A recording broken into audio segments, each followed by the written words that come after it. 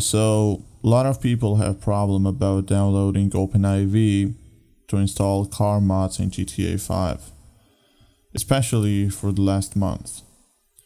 Uh, and there is really easy fix uh, for downloading this app on your PC. Like when we go to OpenIV site, OpenIV download, we can see that if we click download link, it says that this site can provide secure connection. And that's the problem. But the problem is really easy to solve. Just double click on the search bar here and in HTTPS, just remove letter S from the link and hit enter. And there we go. OpenIV is downloaded. That's the easy way to download OpenIV. So thank you for watching, hit that subscribe button and like button and I'll see you guys in next video. Peace.